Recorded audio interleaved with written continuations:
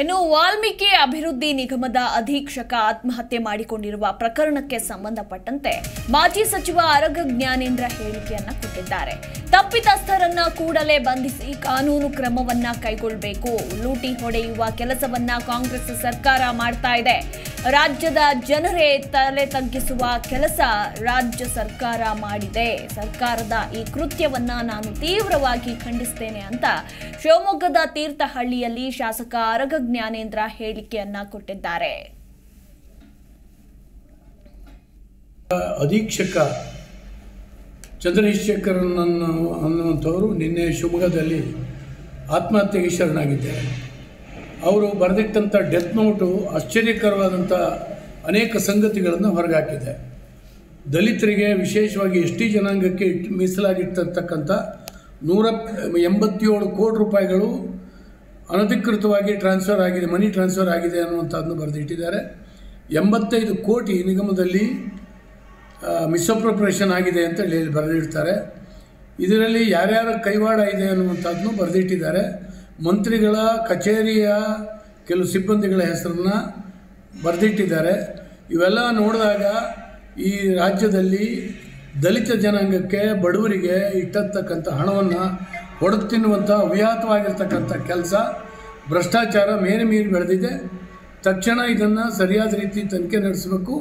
ಮತ್ತು ಯಾರು ತಪ್ಪಿತಸ್ಥರು ಅವರನ್ನು ಅರೆಸ್ಟ್ ಮಾಡಬೇಕು, ಕಾನೂನು ಕ್ರಮ ತಗೊಳ್ಬೇಕು. ಮತ್ತು ಇದೆಲ್ಲ ಆಗುವಾಗ ನಮ್ಮ ಮಹಾದೇವಪ್ಪನವರು ಸೋಷಿಯಲ್ ವೆಲ್ಫೇರ್ ಮಂತ್ರಿ ಅವರು ರಾಜೀನಾಮೆ ಕೊಟ್ಟಬೇಕು ಈ ಹಿನ್ನೆಲೆಯಲ್ಲಿ. ಅವರ ಬೇಜವಾಬ್ದಾರಿಯಿಂದ ಈ ಘಟನೆಗಳು ಆಗಿದೆ ಅನ್ನುವಂಥದ್ದು ಮೇಲ್ನೋಟಕ್ಕೆ ಗೊತ್ತಾಗ್ತದೆ. ಖಂಡಿತವಾಗೂ ದಲಿತರಿಗೆ ಮಾಡಿರ್ತಕ್ಕಂಥ ಮೋಸ, ದಲಿತರಿಗೆ ಮಾಡಿರ್ತಕ್ಕಂಥ ವಂಚನೆ, ಕಾಂಗ್ರೆಸ್ ಸರ್ಕಾರ ಯಾರನ್ನೂ ಕೂಡ ಬಿಡೋದಿಲ್ಲ.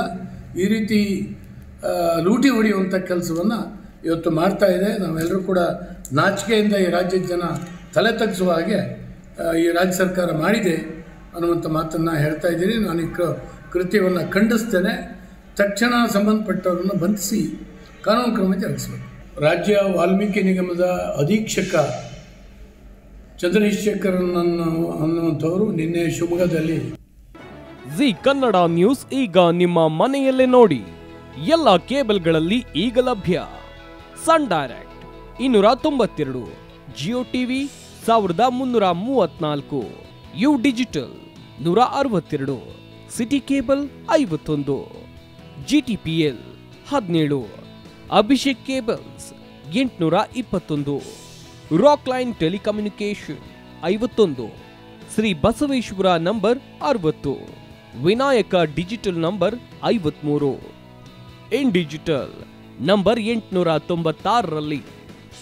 ನಿಮ್ಮಿಸ್ತದ ಜಿ ಕನ್ನಡ ನ್ಯೂಸ್ ನೋಡಿ ಆನಂದಿಸಿ.